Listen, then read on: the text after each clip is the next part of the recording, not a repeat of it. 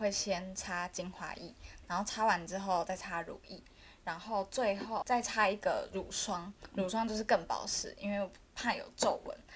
就怕脸上会出现皱纹，每天的保养功夫铁定要做足。但除了靠外在的保养，皱纹的存在也反映了身体的健康状况。我们一般大部分我们会从从一个人的面容，或者是他的呃，我他散发出来的这个呃精神层次上，我们可以评估这个人的健康状况。假如他本来呃，就因为年纪还没有到很老，可是皱纹就相对的比较多，那可能代表他本身身体的老化速度相对是比较快的。根据美国耶鲁大学的研究显示，针对停经三年、五十岁左右的女性做调查，发现骨密度越高的人肌肤越有弹性，相反骨密度低的人皱纹也比较多。也就是当颅骨变得脆弱，就会使得覆盖在上头的头皮多余部分下垂，造成了脸上皱纹变多的情况。皱纹比较多，像我们的颧骨下面的皱纹比较多，或者是鱼尾纹比较多，或抬头纹比较多。那这时候可能第一个会关系到可能年龄偏大以外，第二件事情可能就是代表，或许你的脂肪有一些萎缩的情况，或脂肪重新分布。